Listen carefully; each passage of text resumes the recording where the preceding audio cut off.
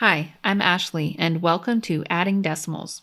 In this video, we're going to practice several addition problems with decimals. It is important that you first understand place value, including place value with decimals, like the tenths, hundredths, and thousandths places, and then also understand addition with regrouping. That's like when you carry numbers. Okay, if you all understand all of that, then we're ready to go. Let's get started.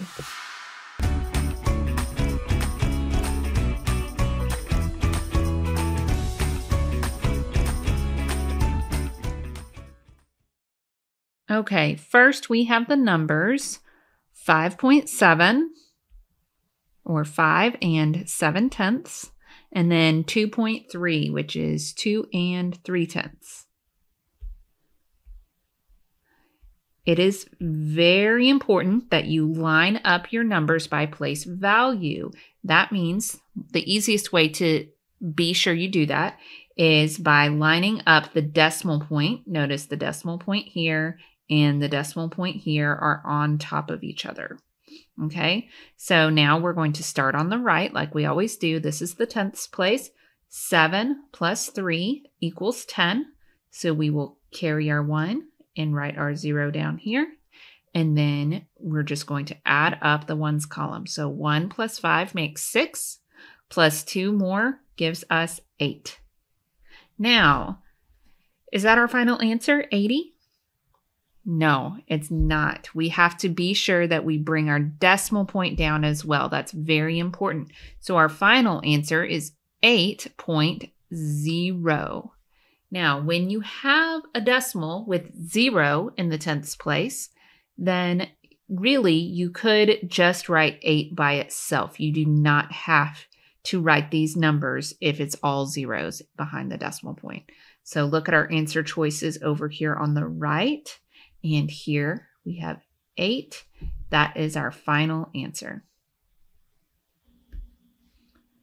Okay, here's our next one. We have two plus 0.1. Did I write that correctly? If you said no, then you're correct. I'm the one that's wrong. Let me erase that. Do you know what I did wrong? The number two is a digit in the ones place, okay? And the decimal always goes to the right of the ones place. Now, if you don't have anything behind the decimal, you don't have to write one here, but there's always this decimal. Okay, so it's like saying 2.0.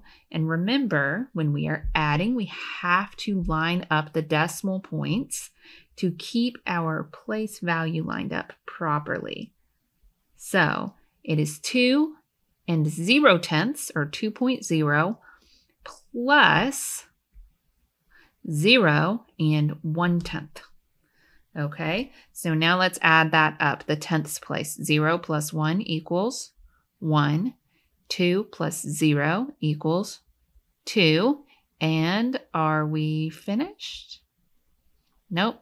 Always got to bring that decimal down. So 2 and 1 tenth is our final answer.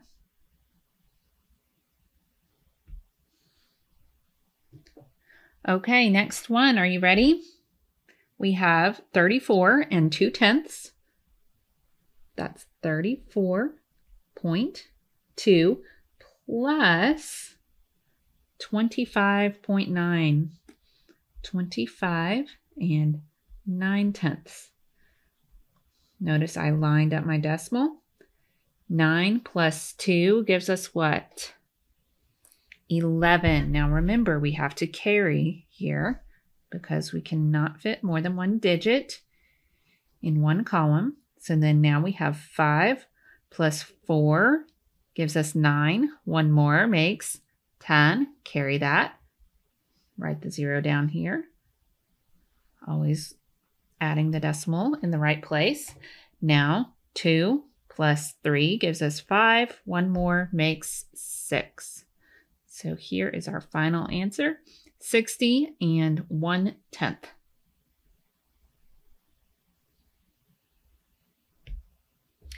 Okay, last one. And this is where you really see that it is important to line up the decimal correctly. Look how many digits are back here on this second one. So, okay, the first one 2.377 plus 5.77195. Whew, that's a long one. I'm going to write the 5 down first because I always like the number with the most digits on the top. That's just a personal preference. It can be added either way because you remember it, with addition, the order does not matter. Let me start. I have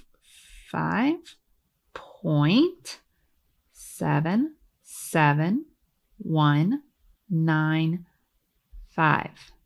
Then adding 2 point, look, we're making sure the decimal is lined up, three, seven, seven. Okay, we're going to add that together. Now notice there are no digits over here. Okay, that's okay. It's just like zeros. So 5 plus nothing, it's like 5 plus 0, gives us 5. 9 plus nothing is 9.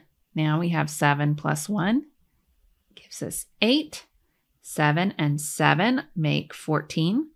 Carry the 1. Bring down the 4. 7 plus 3 is 10. Plus the one we had carried gives us 11. Carry that one. Bring down the other one. Bring down the decimal. And then we have 5 plus 2 is 7 plus 1 more makes 8. And this is our final answer 8.14895. Did you see it over here? It is this one here at the bottom. Phew, and that is it. We just added a bunch of decimal problems.